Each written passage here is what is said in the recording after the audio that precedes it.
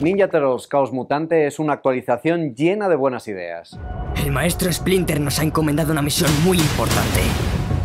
Seremos sigilosos para infiltrarnos en el mundo de los humanos y recuperar... El yogur helado. ¡El yogur! Vale, Batman. No me rayes, lo hago para motivaros, ¿vale? Donatello, Rafael, Michelangelo y Leonardo vuelven a los cines con Ninja Turtles, Ninja Turtles, Chaos Mutante, la película de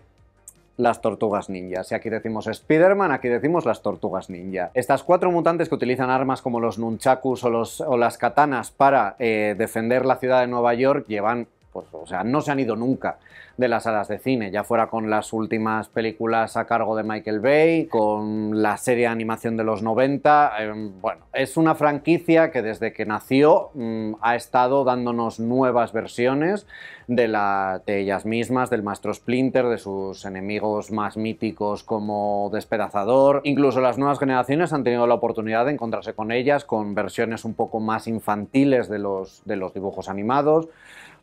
Siguen dando mucho dinero y aunque eso, su paso por cines, bueno, ha tenido sus más y sus menos. Si algo ha eh, conseguido esta película de animación es casi aunar a la crítica para aplaudirla, para decir que es buena. Por fin, por fin una película que está a la altura de, bueno, pues unos dibujos animados que por lo menos para mí fueron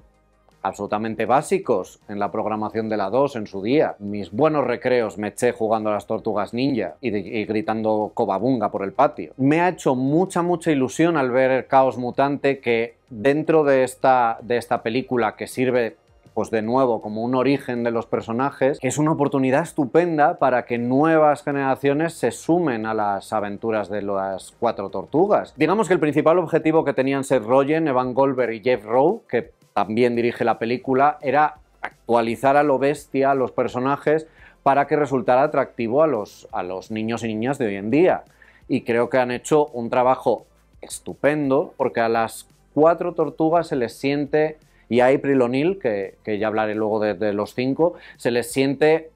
muy, muy, muy actuales. No solo por los típicos comentarios al mundo del streaming o cosas por el estilo que puedas llegar a decir, bueno, vale, sino por la propia manera de ser de, de los personajes que dices, sí, sí, sí, sí, sí recuerda a, a los espíricos niños de hoy en día. Espírica, de hecho, es una palabra que puede describir muy bien a esta película que, ay, sí, dura solo un poquito más de hora y media y que en ese tiempo no da tregua, porque están pasando cosas todo el rato. Pero no solo es que el ritmo de la película sea muy alto, todo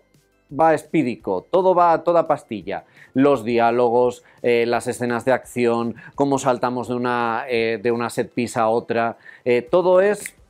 para no perder tu atención. Estás todo el rato arriba. Que a lo mejor es algo que puede aturullar a los mayores de la sala. Mm, bueno, puede ser, pero mm, tampoco es que sean el público objetivo que busca esta película. Igualmente, y también entrar en eso luego, los que vimos, por ejemplo, la serie de animación eh, cuando éramos pequeños, vamos a recibir esta aventura nueva mm, con los brazos abiertos, pues básicamente también por esa sensación de nostalgia que quizás las películas de Michael Bay no conseguían y que esta sí, de, volver a sentirte un poco un chavalín, a pesar de que es una película probablemente es la película que más mayor me ha hecho sentir en muchísimo tiempo, porque Donatello, Leonardo, Rafael y Michelangelo son muy adolescentes y por tanto hablan como los adolescentes de hoy en día y obviamente pues bueno, uno ya va teniendo una edad y va teniendo unas canas y ya no sabe muy bien cómo hablan los niños de hoy en día. Entonces, eh, había momentos en la película en la que directamente tenía que mirar los subtítulos no porque no entendía el inglés, sino porque no tenía ni idea de lo que estaban hablando. Pero no me no me sacó nunca de la peli, sino que me hizo mucha, de nuevo, me hizo mucha ilusión. Consideré que el guion estaba muy, muy preocupado por eso, por hablar el idioma de los, de los niños y niñas de hoy en día, aunque a veces resultara un poco avasallador la cantidad de niños a la cultura pop que eran capaces de meter. Pero bueno, si los niños de hoy en día están, por ejemplo, obsesionados con un ataque a los titanes, pues me parece bastante lógico que las tortugas ninja también. Resulta súper fresco ver cómo, los cuatro protagonistas son muy adolescentes, muy preadolescentes más bien. Tienen, pues eso, tienen la energía esta de la infancia, de ser súper atolondrados y de casi nunca pensar en lo que van a hacer después, sin pensar mucho en las consecuencias. Son muy, muy jóvenes, entonces todavía no han, ni siquiera se han planteado que al ser unas tortugas mutantes entrenadas por su padre, que bueno, es una manera de, criar a tus hijos, no te lo voy a negar. Tiene su lógica. El maestro Splinter, o Splinter aquí porque tampoco es que sea maestro de nada, que nos cuenta su historia, su bonita historia de origen, todo. Eh, digamos que tiene una especial animadversión hacia los humanos porque, bueno, pues mm, los humanos tendemos a tener miedo, eh, sentir ira a querer atacar a todo lo que resulte diferente a nosotros y evidentemente si vemos una rata gigante antropomórfica, pues sí, a lo mejor no reaccionamos dándole un abrazo. Entonces, bueno, pues él decide mm, que sus hijos tienen que estar preparados para posibles amenazas de los humanos y les entrena con las armas que hacen características a las tortugas ninja. Pero esos son chavales que sí que saben usar nunchakus y espadas, pero que en realidad su mayor objetivo o su mayor deseo es vivir en el mundo real con el resto de la gente. Están hartos de vivir eh, confinados en las alcantarillas de Nueva York y quieren salir al, al, exterior, a pesar de que su padre todo el rato les dice y les recuerda que si salen al exterior se van a encontrar con odio, se van a encontrar con puertas cerradas, se van a encontrar con gritos, con, con peleas y con, bueno, con muchísima violencia. Es un mensaje bastante chulo el de la película, el de, bueno, el de también lanzar eso, una, una idea de tolerancia mm, muy exagerada porque es eso, porque es que son tortugas mutantes. Pero está muy bien que los niños y niñas también sigan viendo eh, en los tiempos que corren cómo prejuzgar al que es diferente muy probablemente te lleve a equívocos y te lleve a probablemente conocer a gente súper interesante, como son unas tortugas que sabemos Chacus. Otro acierto, en la versión original al menos, es darles eh, a cuatro chavalines eh, la oportunidad de doblar a las cuatro tortugas. Hacen un trabajo estupendo y les dan muchísima personalidad, que remarca también un poco estas cuatro personalidades tan sumamente marcadas que tenía cada uno, rollo pues Rafael es mm, el músculo, eh, Leonardo es el líder, Michelangelo está como las maracas y Donatello es el cerebro, un poco desde la super pop, para los que sois de mi época, mm, el resto pues desde BuzzFeed, quizás ya os pillará hasta, hasta muy lejos. Eh, pero bueno, Típico, típicos arquetipos que servían mucho para a la hora de en el recreo elegir personaje, pues un poco eh, saber cuál, con cuál sentías un poco más de afinidad. Tienen muchísima química entre ellos, son, son un grupo muy chulo y también tienen eh, mucha química con April O'Neil, que también ha sido actualizada, no solo por fuera, eh, para darle un poco más de diversidad al, al reparto, sino también en el, en el tema de, de personalidad, que de nuevo, como ellos, es una adolescente en edad de instituto, que tiene su propio arco de intolerancia dentro de, dentro de la escuela. También está muy bien metido como es una aspirante a periodista, aquí pues en pues, lo típico de películas de Estados Unidos o de series de Estados Unidos, de, la tele del instituto, acaba de empezar, eh, pero tiene esa sed por la verdad eh, y como, pues bueno, también tiene sus pequeños problemillas, precisamente con ponerse delante de la cámara. Aunque eso tiene puntitos guays, es verdad que April se queda muy eclipsada respecto, o sea, las tortugas ganan por goleada respecto a ella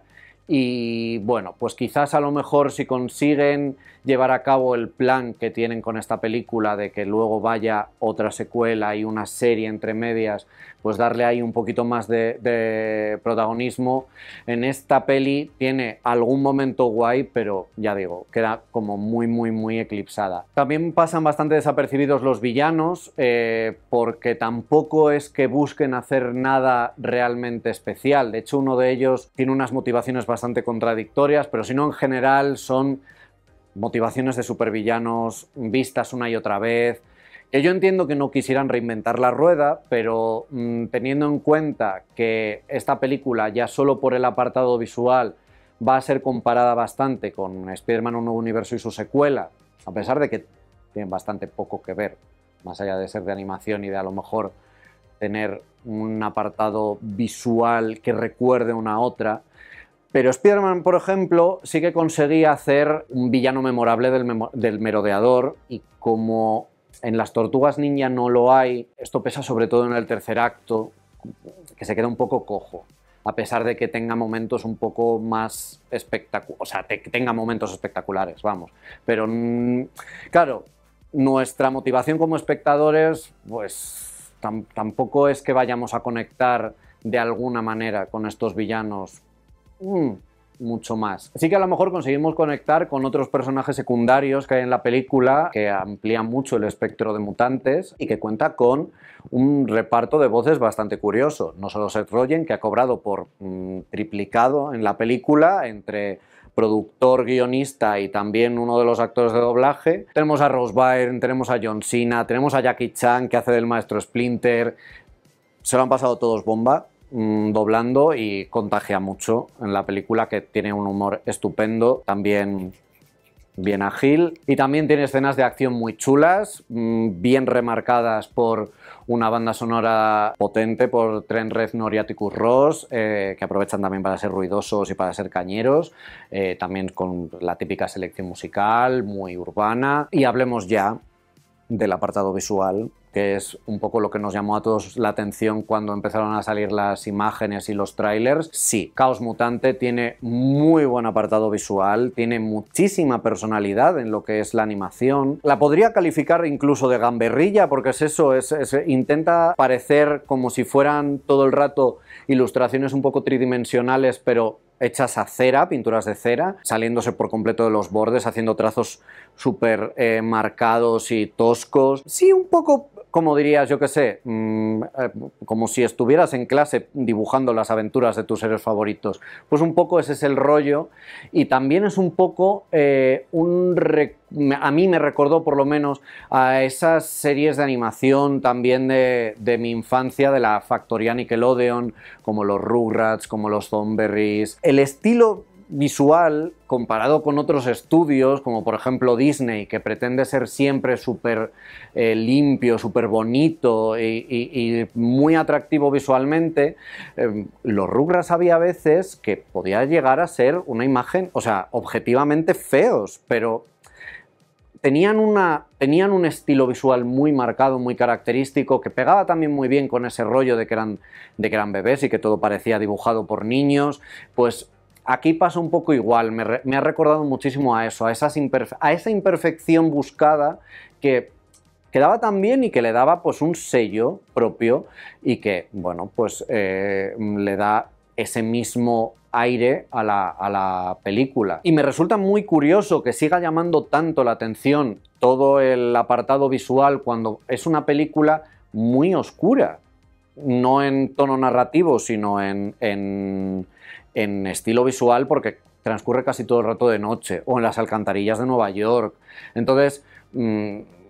para que destaque todo esto cuando casi, entre comillas, no estás viendo nada, es, es un trabajazo. Incluso ya digo que le da su propio, su propio rollo también. En definitiva, Caos Mutante es una gratísima sorpresa, es un punto de partida estupendo, tanto para los que nos descolgamos a lo mejor hace mucho tiempo de las tortugas ninja, como para los eh, nuevos niños y niñas que quieran explorar las alcantarillas de Nueva York con Donatello, Leonardo, Michelangelo y Rafael. Es una película